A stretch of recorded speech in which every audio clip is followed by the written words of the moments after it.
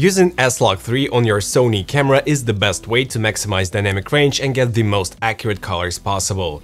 And it's quite easy to use by the way. If your camera supports log shooting setting, turn it on and choose the flexible ISO and S-Log3 as Gamma 3 Cine. If it doesn't, go to picture profiles and choose any PP and change gamma to S-Log3 and color mode to S Gamma 3 Cine. Also don't forget to use 10-bit codec if your camera supports it and if not, I suggest using S-Log2. To expose properly, I use a free LUT by Alister Chapman which you can download via the link below. The LUT can be used both for monitoring in camera or with your on-camera monitor and for color grading in post. It makes the image appear two stops darker on the screen, which forces you to expose brighter and it's crucial for getting clean image in S-Log. And I also always use Zebra tool at 75 if I expose for the skin, just make sure the brightest part of the face doesn't have zebra on it and expose as bright as possible until you see the zebra. And when I expose for the sky, I use zebra at 95 and I stick to the same technique. Perfect exposure, noise-free image and maximum dynamic range with minimum effort.